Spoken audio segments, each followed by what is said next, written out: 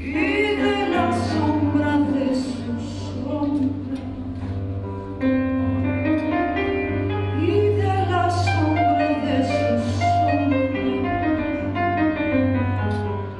en el marco del Festival de Jazz de Buenos Aires estoy presentando La sombra de su sombra. Es un trabajo que hice con Frank Albert. Frank Albert es un pianista y compositor finlandés em, vinculado a la vanguardia del jazz en Nueva York. Eh, él compuso 10 piezas musicales para 10 poemas de Alejandra Pizarnik. Eh, él ha trabajado con poetas toda su carrera y yo le sugerí que leyera poesía argentina porque me parecía que iba a haber una afinidad entre Finlandia y Buenos Aires sobre todo y así fue. Y mm, grabamos en parte en Nueva York y en parte en el invierno porteño.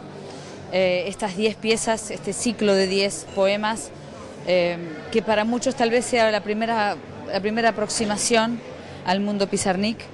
Eh, y en ese caso espero que mi voz sea el instrumento adecuado. Cuando yo hice la carrera de letras hace muchos años, Alejandra Pizarnik fue una de las primeras autoras que, llegó a mí y que marcó definitivamente mi forma de leer, de escribir.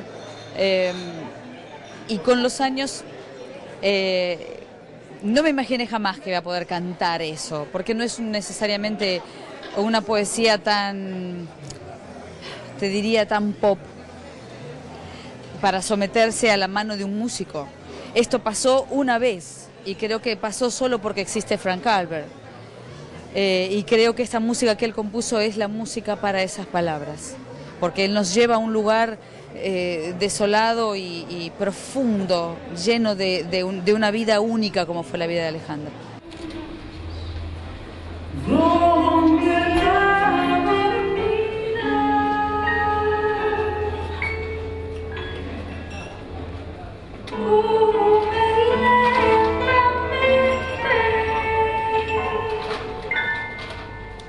Conmovedor porque la voz de Alejandra, que yo la escuché en, YouTube, estas cosas que hoy en día pueden pasar, eh, resultó ser una voz muy profunda, muy quebrada, muy, muy dramática.